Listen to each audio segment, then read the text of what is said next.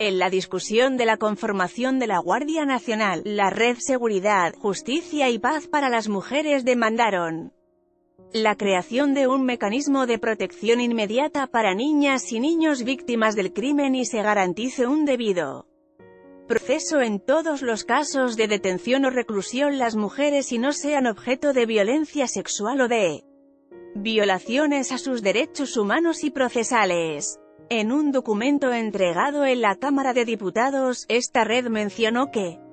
se está incrementando la violencia en el país alimentado por un contexto generalizado de impunidad que ha dejado violaciones graves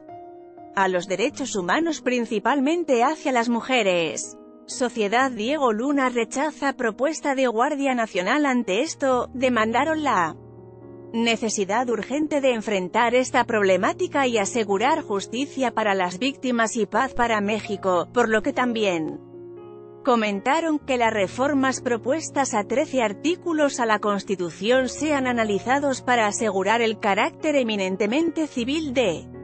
la Guardia Nacional, previendo la participación de las Fuerzas Armadas en casos extraordinarios y previendo su sustitución en el menor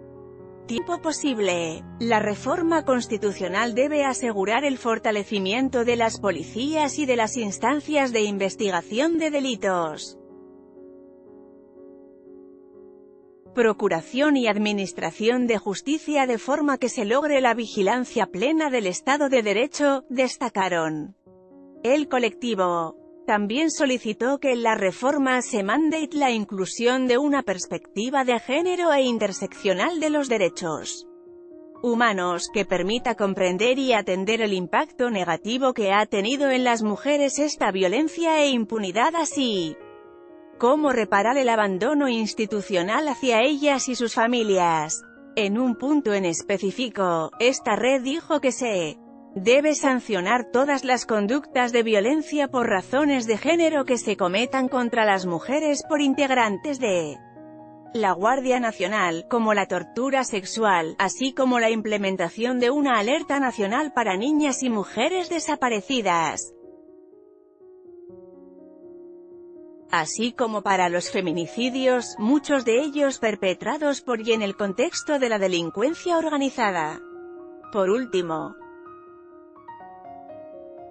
Insistieron en que, como parte del Parlamento abierto, se establezca una mesa de diálogo permanente con las organizaciones de mujeres en los procesos de reformas legislativas en la materia y reiteraron su disposición para participar en la construcción y vigencia de la legalidad, seguridad, justicia y paz en el país. Política rechaza PAN Guardia Nacional con mando militar.